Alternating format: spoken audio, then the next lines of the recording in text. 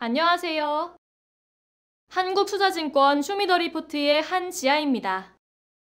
4분기 earning season을 앞두고 earning season preview 자료를 소개드리려고 합니다. 1월 효과에 대해서 들어보셨나요?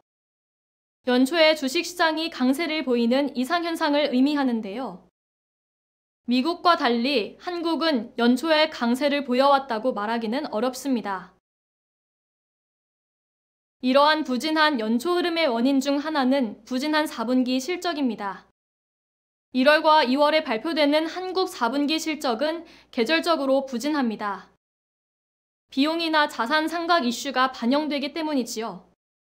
한국 기업 이익 추정치의 낙관적인 편향이 존재하지만 이를 감안하더라도 4분기 이익은 부진한 것을 확인할 수 있습니다. 다만 4분기 실적 부진은 이미 널리 알려진 내용입니다. 실적 부진이라는 악재는 4분기 실적이 마무리되는 2월 말에는 힘을 잃습니다. 4분기 실적 부진이 예상되는 만큼 이를 피해갈 수 있는 업종을 찾아야 하는데요. 소재, 산업재, 에너지 같은 산업들은 4분기 비용과 자산 상각 이슈가 크게 부각되는 업종입니다. 해당 문제에서 상대적으로 자유로운 IT 업종이 대안이 될 것입니다. 오늘 준비한 내용은 여기까지입니다.